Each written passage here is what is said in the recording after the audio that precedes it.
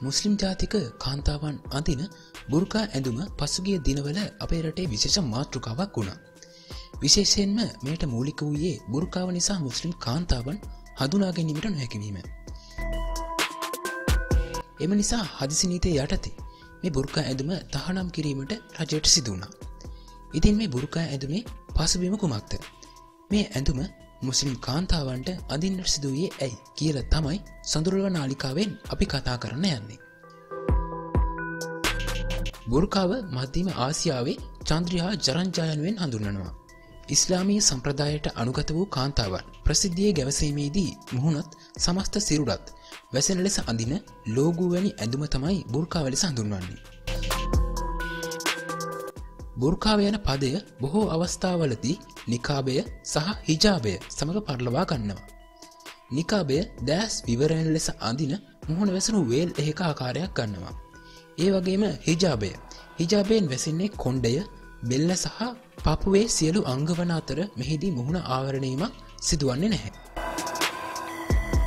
බුර්කාවත් මුහුණ වැසෙන අනෙක් වර්ගේ වේල් වර්ගත් පූර්ව ඉස්ලාමී යුගයේ පටන් පාස්තුූන් හෙවත්. ඇෆ්ගන් වර්ගයාගේ ලඳුම් සහ අරාබි ලඳුම් අඳින ඇඳුමක්. නමුත් මුහුණ වැසීම අතීතයේත් වර්තමානයේත් බොහෝ ඉස්ලාමය විද්ධතුන් ආගිමික අවශ්‍යතාවක් ලෙස සලකා නැහැ.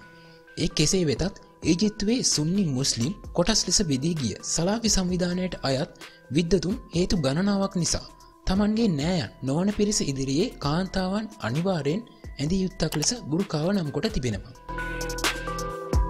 මෙම සලාපි සංවිධානය බිහිවී ඇත්තේ දානම් වන සීවසේ.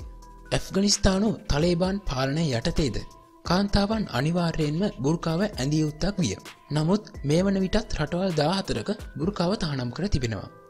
එම රටවල් වන්නේ ඔස්ට්‍රියා කැනඩාවේ කපුබෙක් ප්‍රාන්තය ඩෙන්මාකය ප්‍රංශය බෙල්ජියම කජිකිස්ථානය ලැට්වියාව බල්ගේරියාව කැමරූන් චැට් කොංගොජන් රජය ගැබෝන් නිදර්ලන්තය චීනය මොරොක්කෝ සහ ශ්‍රී ලංකාවයි.